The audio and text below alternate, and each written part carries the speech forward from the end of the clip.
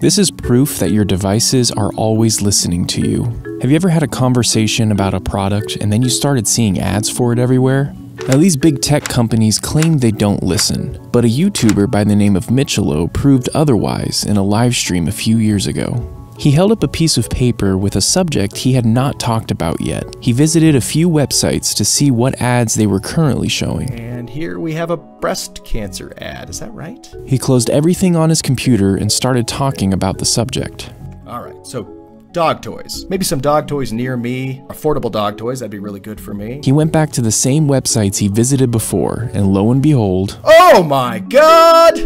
It's right there! Dog toy ads, again! he also received an ad for Ford. Affordable dog toys, that'd be really good for me. Most affordable, affordable, affordable.